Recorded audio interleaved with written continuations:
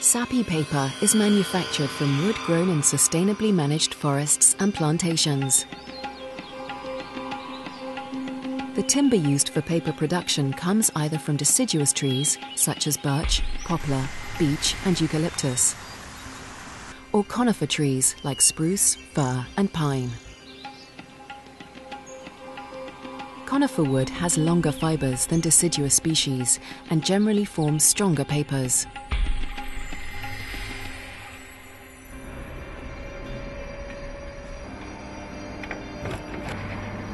When the logs arrive at the woodyard, they are fed into a rotating drum which removes the bark. The logs are then chipped.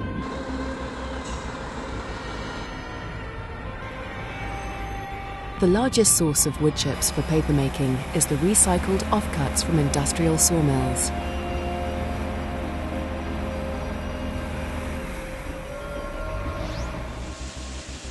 The wood chips are transported to the pulp mill on a conveyor belt.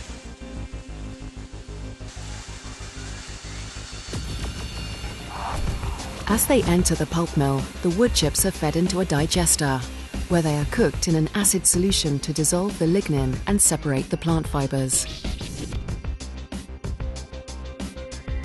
We call the pulp obtained from this process wood-free because the lignin has been dissolved.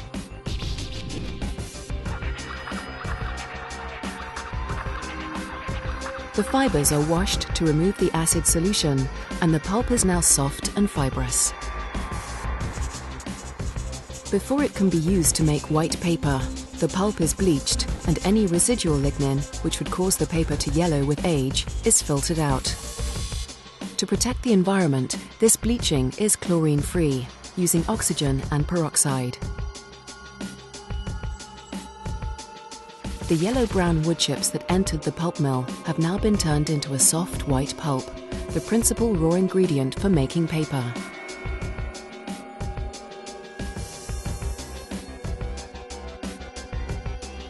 This treated pulp can be dried, baled and transported to other paper mills, which may either not have their own pulp mill or may require a specific type of pulp to give the paper particular characteristics. Whether produced on site or bought on the market, the pulp enters the paper mill and is mixed with water. The pulp solution is refined by passing it through a series of rotating and stationary blades. These give the fibres a variable degree of clean cut or fibrillated ends. Fibrillated fibres bind more tightly with adjacent fibres, creating stronger paper. Wood fibres alone would produce rough textured and unevenly dense paper and fillers such as calcium carbonate and clay are mixed in to make the paper more opaque and give it a more controlled density. Dyes, optical brighteners and sizes may also be blended into the pulp to improve the appearance of the paper. By far the most important process material is water. About 100 litres of fresh water are needed to make one kilogram of paper. Sophisticated wastewater treatment plants and closed water circulation systems on the paper line allow over 90% of this water to be recycled.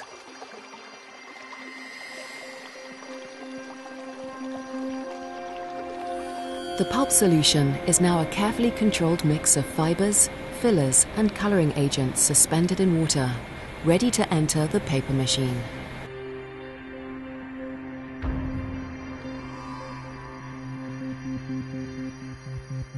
The paper machine is the heart of the paper mill.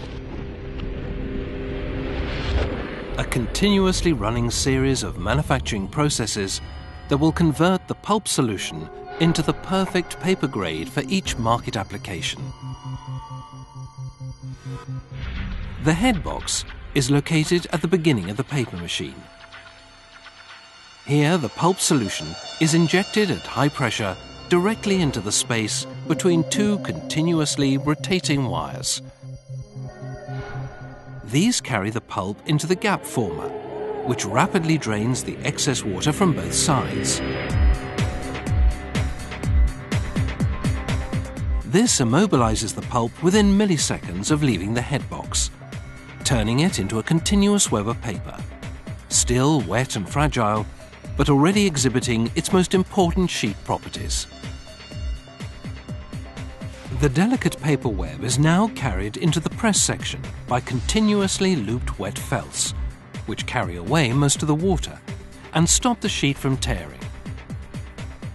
At the shoe press, the paper web is forced between a soft rotating roller pressing against a hydraulically actuated metal pad. Water is squeezed out of the paper by this pressure, and this is absorbed and carried away by the wet felts.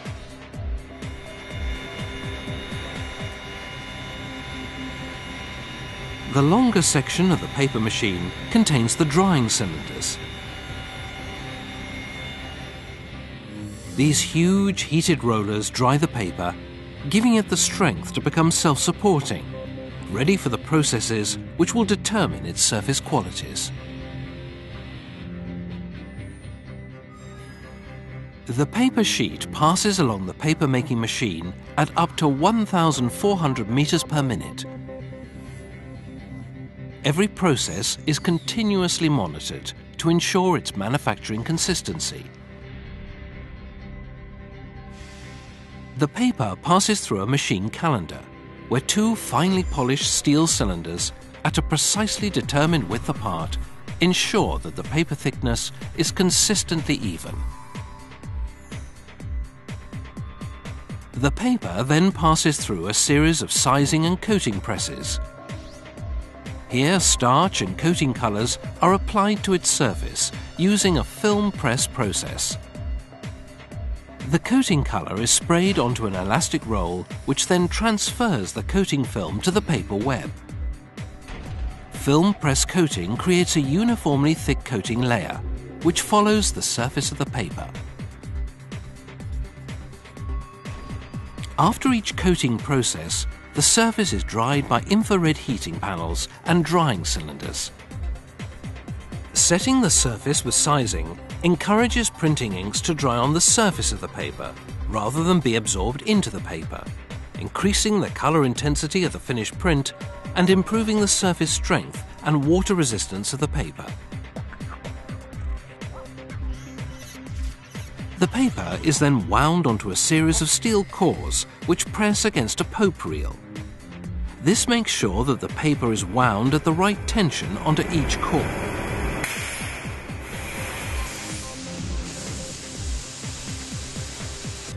Every hour, the paper line creates a jumbo reel containing 80 kilometers of paper sheet, 8.5 meters in width, and weighing 120 tons.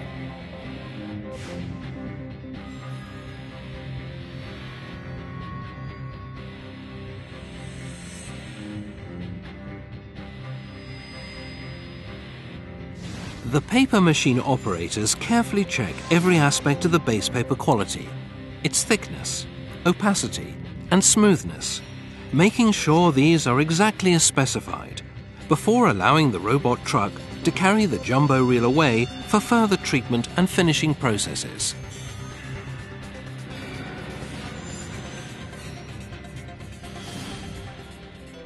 The final surface qualities of each batch of paper are controlled in the coating and finishing lines.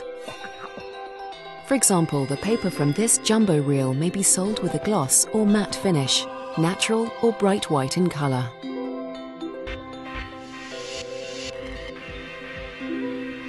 The coating compounds are mixed according to precise recipes in tanks in the coating kitchen. The main colour pigment is calcium carbonate, which makes the paper surface white but the coating solution may also include clay and talcum powder. Binders can be natural starches or purely synthetic compounds such as latex. To create a smoother surface, up to two more coatings per side are applied using the blade coating process. Excess solution is sprayed directly onto the paper and is then scraped off by a steel blade. Depending on the pressure of the doctor blade, a uniform paper surface is created as the irregularities in the paper are smoothed out. Each side is coated and dried in sequence to create the correct characteristics for each paper grade.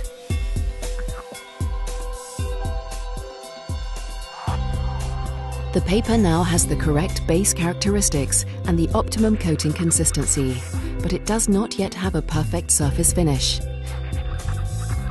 This is achieved in the Super Calender. The paper passes through up to 10 rollers, which each apply pressure and temperature. These rolls have different surfaces, such as hard steel and soft rubber, depending on the type of gloss and surface treatment required.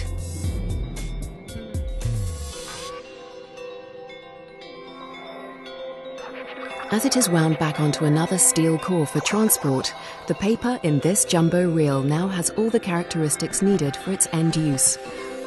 Apart from one final detail, its size.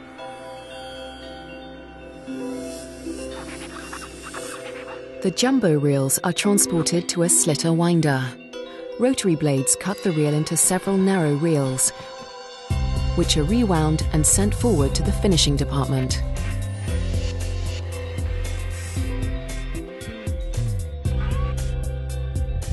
Several reels are simultaneously fed into a sheeter, which cuts the paper into sheets and stacks these onto pallets.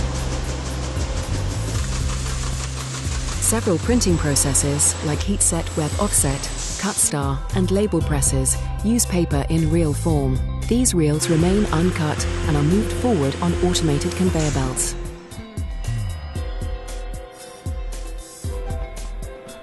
Whether the paper has been cut into sheets for a sheet press or remains in a roll for a web offset press, the final destination is the same, the packing lines and warehouse. Each reel of paper is wrapped in kraft cardboard to avoid damage in transport.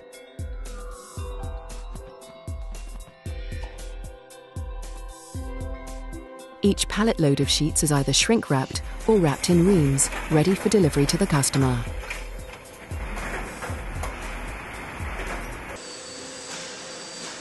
Every consignment of both sheets and reels is labelled with the brand name, a batch number to identify its exact manufacturing history, and its destination.